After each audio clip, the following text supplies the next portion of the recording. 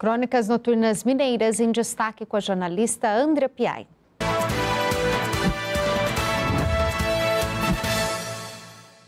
Subia para nossa alma um encanto abençoado das coisas simples e boas.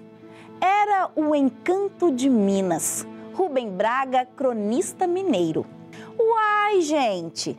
Falar de coisa boa é um trem carregado de esperança.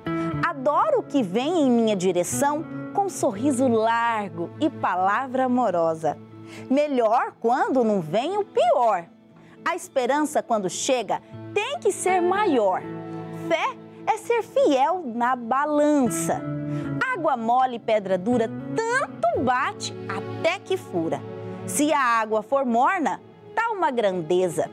Passarinho que acompanha morcego acorda de cabeça para baixo. Espera que o dia vem. Para quem está se afogando, jacaré é tronco, desde que não esteja com fome. Pois é, os ditados populares mineiros são joias da coroa, pupilas de sabedoria, minas de pepitas preciosas gerais.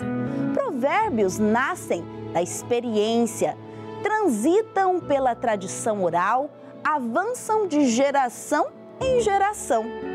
Provérbios são mais gostosos quando inspirados perto da panela, saboreando o pão de queijo na varanda de casa. Os ditos dos mais velhos são aprendidos com maior precisão e sutileza. Andrea Piai para a Rede Vida, liberdade para construir um mundo melhor.